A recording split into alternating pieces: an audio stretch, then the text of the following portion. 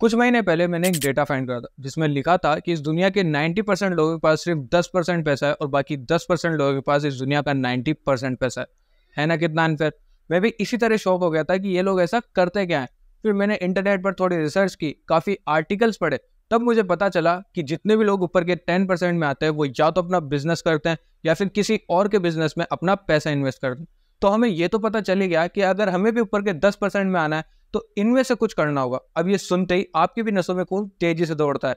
आप भी ये ठान लेते हो कि कुछ भी हो जाए, मैं तो बिज़नेस ही करूँगा। और अपनी सारी जमा पूंजी निकाल के या कहीं से उधार लेके आप भी पाँच छह लाख लगाकर अपना बिज़नेस स्टार्ट करते हो। लेकिन अब सोचो, इतने पैसे लगाने के बाद भी वो बिज़नेस ना चले। आपकी दिन रात मेहनत करने के बाद भी वो रिस्पॉन्स ना पाए। या वो बिज़नेस लॉस में चला जाए तो आपको कैसा लगेगा? वेल well, ये ही हमारे इकोसिस्टम की सच्चाई भी है। एक डेटा के अनुसार इंडिया में हर साल जितने स्टार्टअप शुरू होते हैं उनमें से 90 परसेंट स्टार्टअप उसी साल बंद हो जाते हैं because lack of right goals and lack of right knowledge about their business तो ऐसे में हर वो शख्स जो बिज़नेस करना चाहता है वो यही सोचता है कि कहीं मेरा बिज़नेस बंद ना हो जाए मुझे उसमें लॉस ना हो या मेरा बिज़नेस मंदी की चपेट में ना आ जाए। पर कैसा रहे?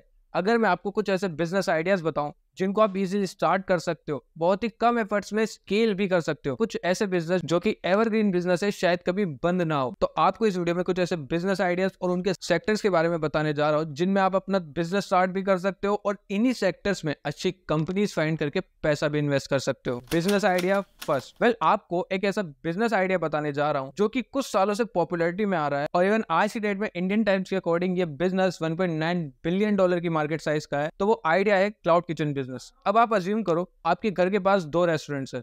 रेस्टोरेंट ए में अच्छा फर्नीचर है रिच इंटीरियर है, लेकिन food quality not that good but वहीं बी रेस्टोरेंट में ठीक ठाक फर्नीचर ज़्यादा अच्छी डेकोरेशन नहीं है, लेकिन खाना वहाँ का सुपर है। तो आप किस रेस्टोरेंट को ज़्यादा प्रायोरिटी दोगे? ऑब्वियसली बी रेस्टोरेंट को। क्योंकि किसी को भी चमक दमक से ज़्यादा अच्छी फ़ूड क्वालिटी और फ़ूड टेस्ट में इंटरेस्ट होता है। तो कुछ ऐसा ही है क्लाउड किचन बिज़नेस इसमें आपको कोई ज़्यादा इन्वेस्टमेंट की ज़रूरत नहीं है। इस बिज़नेस को आप अपने घर के किचन से भी स्टार्ट कर सकते हो। बस आपको तैयार करना होगा एक टेस्टी फ़ूड मेन्यू जिसको आप अपने कस्टमर्स को ऑफ़र करोगे और अपने घर के किचन से कुछ फ़ूड इक्विपमेंट्स के साथ इसको स्टार्ट कर सकते हो और इसमें आप स्टार्टिंग से ही प्रॉफिटेबल हो सकते हो। क्योंकि इसमें आपकी लागत कम है तो मार्जिन काफ़ी अच्छे बचेंगे। Business idea number two Amazon Flipkart Swiggy Zomato इन सब कंपनी से कभी ना कभी आपने शॉपिंग या कुछ ना कुछ ऑर्डर किया ही होगा।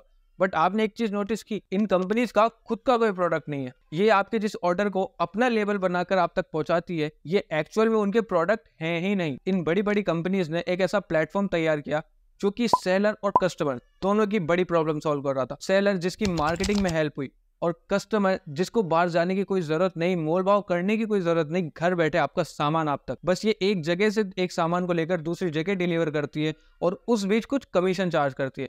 और इस सिंपल रेवेन्यू मॉडल से ये कंपनीज़ मिलियन बिलियन डॉलर की बन चुकी है। अब आप भी थोड़ी ब्रेन करके इस इंडस्ट्री की यूनिकनेस पार्ट कर अपना बिज़नेस बना सकते हो। वेल अब मेरा फ़र्ज़ ये भी है कि मैं एक ऑनेस्ट ओपिनियन भी दूँ। अगर इस इंडस्ट्री में आपको आना है, अपनी लॉजिस्टिक कंपनी या अपनी कुरियर कंपनी स्टार्ट करनी है तो एक बात ध्यान रखना, ये बिज़नेस थोड़ा हेडेक वाला है, इसमें आपकी थोड़ी ज़्यादा मेहनत लगेगी, क्योंकि मेरे एक नॉन पर्सन ऑलरेडी भी इस बिज़नेस में तो एक बात ध्यान रखो कि आपकी लीगल फॉर्मेलिटी सारी पूरी होनी चाहिए, तब आपको कोई दिक्कत नहीं आएगी। बिज़नेस आइडिया नंबर थ्री दुनिया भर के कई ह्यूमंस पर एक रिसर्च की, और उस रिसर्च में एक डेटा निकल के सामने आया है कि आने वाले कुछ समय में ह्यूमंस की एवरेज लाइफ पचपन से साठ साल तक होने वाली है, और उसके कुछ सिम्टम्स तो आप अभी से ही देख सकते हो।